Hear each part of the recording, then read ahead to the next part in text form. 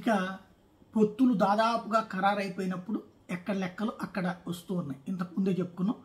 ఏదో ఐదు ఎంపీ ఆరు ఎంపీ ఎనిమిది అసెంబ్లీ లేకపోతే తొమ్మిది అసెంబ్లీ ఇట్లా వస్తున్నాయి. కానీ ఇప్పుడు తెలుగుదేశం పార్టీలో లోకేష్ సన్నిహిత టీంలో పేరు పేరున్నటువంటి వ్యక్తి ప్రొజెక్ట్ చేస్తున్నటువంటిది బీజేపీ అధిష్టానంతో రేపు చర్చలు జరుగుతాయని టీడీపీ జనసేనలతో ఇద్దరిని కూడా పిలిచి చర్చించబోతున్నారని పొత్తు ఖాయమైపోయిందని చెప్తున్నారు. ఈ లెక్క ప్రకారం ఐదు పార్లమెంటు ఎనిమిది అసెంబ్లీ.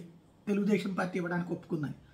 అయితే అలా కాదు అనుకుని అంటే అరకు కూడా తెలుగుదేశం బీజేపీ నెత్తులు రుద్దాలని చూస్తుంది. కానీ అరక్ అక్కడ గెలిచే అవకాశాలు ఉండవు కాబట్టి బీజేపీ క్రిందసారి కూడా వదులుకుంది. అందుకని దా అప్పుడు అట్లాగ మోసపోయామని ఫీల్ అవుతుంది కాబట్టి అప్పుడు కూడా ఐదు పార్లమెంటు అప్పుడు పదిహేను అసెంబ్లీ అని చెప్పి ఆ పదిహేనులో రెండు అసెంబ్లీ వెనక్కి తీసేసుకుని మూడు మూడు చోట్లేమో వాళ్ళకి సంబంధించిన వాళ్ళకి కూడా బీఫారాలు ఇచ్చారు. ఇక్కడ ఈ రెండు అసెంబ్లీలకు బదులుగా రెండు ఎమ్మెల్సీలు ఇస్తామన్నారు.